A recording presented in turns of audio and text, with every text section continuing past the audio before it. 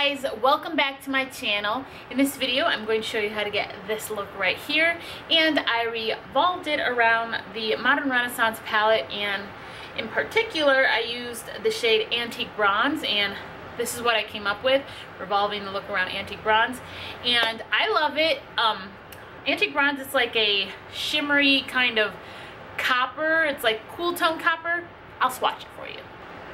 So this is antique bronze right there. So it's kind of like a copper, but cool tone, not, um, doesn't really have any uh, warm undertones. So let's just say a cool or neutral toned copper.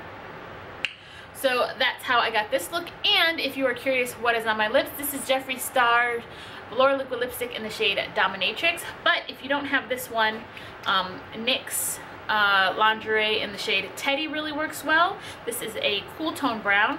And then I have the Milani matte lipstick in, or no, it's not matte, just the Milani lipstick in Double Espresso, number 38. Anyway, guys, if you want to know how to get this look, then keep on watching. As usual, I already have one eye done, and I've been on a no falsies kick lately, so no falsies in this look. So let's work on the next eye.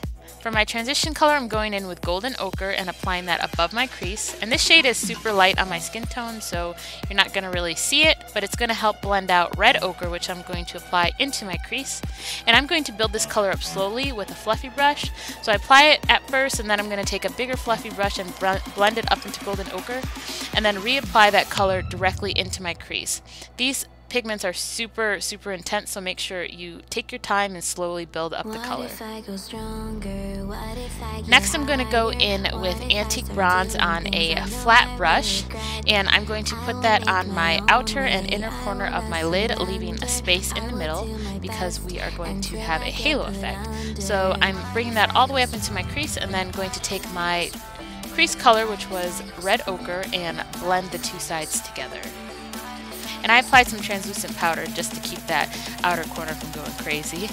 Then in the center, I'm applying Vermeer, and I'm applying this with a wet brush. And then I'm going to take Antique Bronze and make seamless edges around Vermeer. Just make sure that the look is cohesive and there's not any stark lines. It creates a nice gradient effect on the lid. So I'm just going back and forth with my crease colors, red ochre and golden ochre, and using that translucent powder to soften up the edges of this look.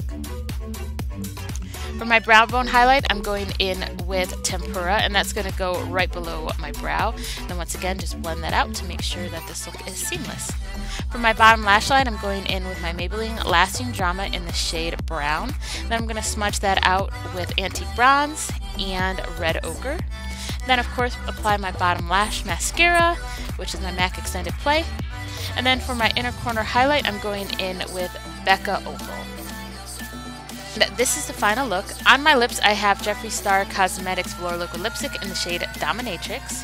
And I really like how this look turned out. Of course, if you wanted it to be more dramatic, you could add a wing liner and smoke out your bottom lash line a little bit more, but I like how wearable this is. Super easy to accomplish and a beautiful halo for brown eyes.